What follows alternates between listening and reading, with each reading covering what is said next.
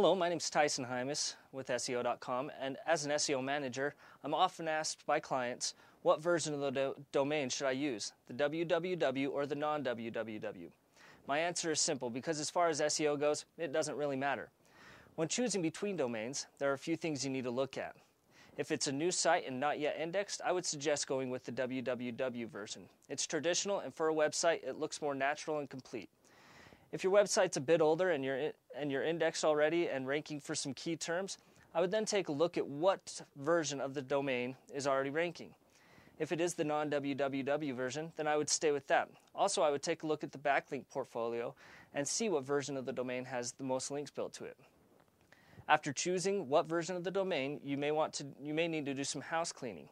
Update your sitemaps and internal link structure and navigation to reflect the correct version of the domain. Second, you will want to place a canonical tag or a 301 redirect on the version of the domain which you are not going to use.